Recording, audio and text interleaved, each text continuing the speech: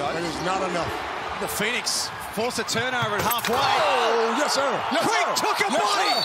Oh, oh, here we go. And Mason. Peatling barrels in Here after it. And tempers have flared in throwdown 13. Really silly stuff by Peatling. Not necessary. Hellacious dump by Mitch Creek. Spectacular. What was Peatling I thinking? I don't know what he was thinking, but Sometimes you just got to wear it. Not you the get smartest thing. every now and again. not the smartest thing in the world. Here you see this unbelievable dunk on Dellavedova. That is just, Okay.